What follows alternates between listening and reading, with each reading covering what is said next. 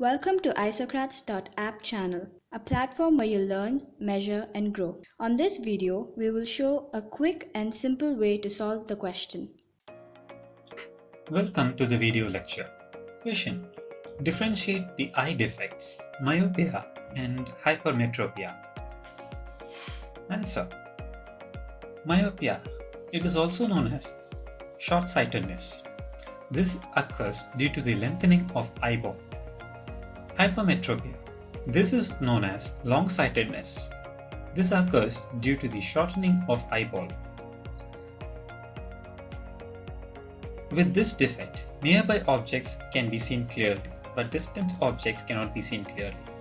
You can remember this by remembering the other name of myopia, that is short-sightedness. That means the object that is nearby that is in the shorter distance can be seen clearly and for hypermetropia the distance objects can be seen clearly. So long-sightedness that is the distance if it is very long from your eyeball then it can be seen clearly. The third difference the focal length of the eye is reduced or the distance between the eye lens and the retina increases.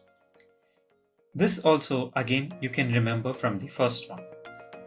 The myopia occurs due to lengthening of eyeball. So, consequently, the eye lens and the retina are lengthened or the distance between them are lengthened.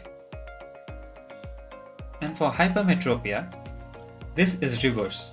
The distance between eye lens and retina is decreased due to the shortening of eyeball. And here the focal length of the eye lens is increased. The far point will not be infinite for such eyes and the far point has come closer. In case of hypermetropia, the near point will not be 25 cm for such eyes and the near point has moved farther.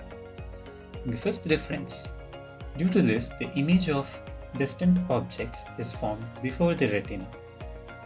In hypermetropia, the image of nearby objects is found behind the retina. In the sixth difference, this defect can be corrected using concave lens in case of myopia and in case of hypermetropia, the defect can be corrected using convex lens. Thank you.